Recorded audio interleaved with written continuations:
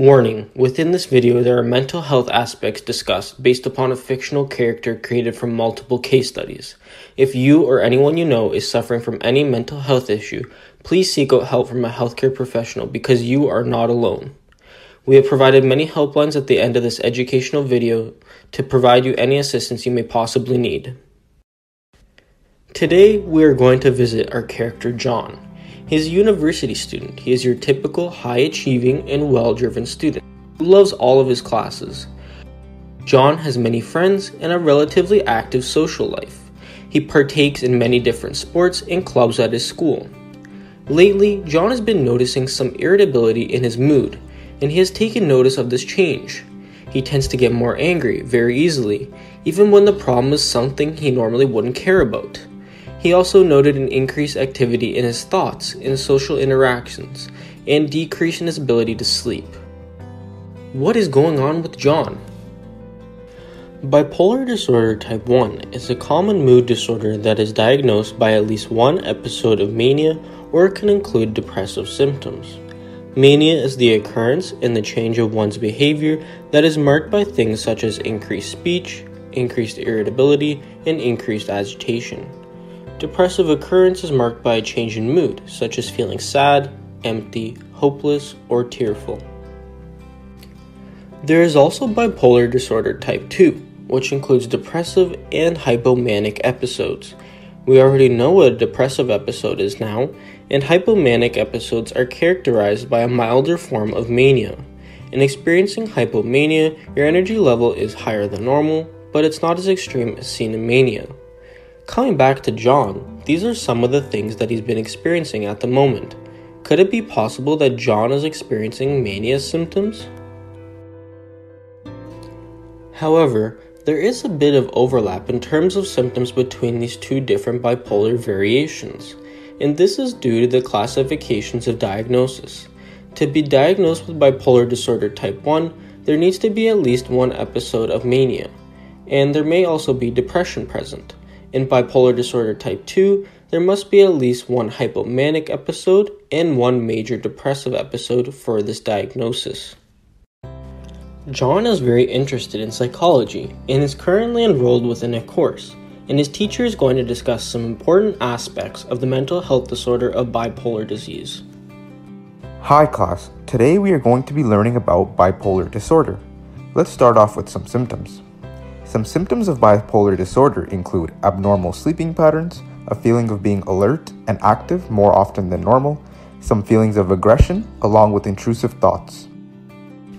John started to realize that he had been experiencing these types of symptoms, but he didn't want to jump to any conclusions or rationalizations yet. So, now time for the fun stuff. The biology behind bipolar disorder is quite complex, but we're going to keep it simple for all of you to understand. Important chemical compounds known as neurotransmitters are released by brain cells called neurons. These neurotransmitters send messages between neurons and throughout the body. This is like sending mail from one person to another when we want to relay a specific message. Usually, within the body, there are set levels of certain neurotransmitters present. However, in a person with bipolar disorder, this balance can change and this can result in depressive, manic, or hypomanic symptoms. Dopamine is a chemical compound that plays many roles and is associated with making an individual feel very active and happy. However, in bipolar disorder, the levels of dopamine are elevated, which leads to the mania and hypomania symptoms.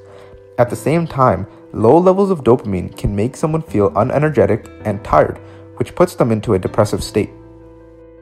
Serotonin is a chemical compound which acts as a mood regulating neurotransmitter, along with influencing behavioral functioning. For example, serotonin may play a role in pain sensitivity, motor activity, feeding, aggression, and sexual behavior. Abnormal levels of this neurotransmitter have been associated with depressive symptoms. However, there is still research needed to be done to see what role serotonin plays involving manic symptoms in bipolar disease. With this in mind, there is still ongoing research involving dopamine and serotonin and what they do specifically in bipolar disease. Now we know the biological aspects of bipolar disorder, so let's look at some treatment options to help these individuals.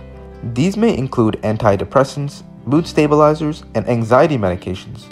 These typically can help prevent mania episodes, stabilize mood swings, decrease anxiety, and improve sleeping patterns. So, are there treatments other than drug therapies? Yes, there are. An example is cognitive behavioral therapy.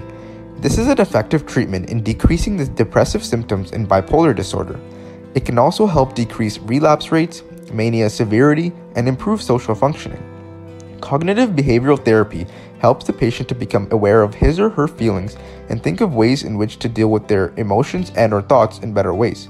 In this case, bipolar patients have distorted cognitive thoughts and thus proved an effective non-pharmacological treatment option.